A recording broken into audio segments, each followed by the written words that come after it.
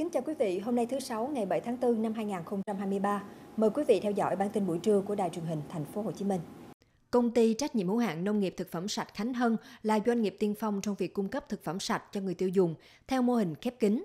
Theo đó, công ty đã đầu tư trang trại nuôi heo gà sạch theo tiêu chuẩn Việt ghép từ khâu lựa chọn giống đến chăm sóc đạt tiêu chuẩn quốc tế, mang lại sản phẩm an toàn cho người tiêu dùng. Tôi thì muốn ờ, xây dựng cái thương hiệu thịt heo sạch 3F ờ, thân thiện và gần gũi với người tiêu dùng, lấy trọng tâm là cộng đồng cũng như là về sức khỏe.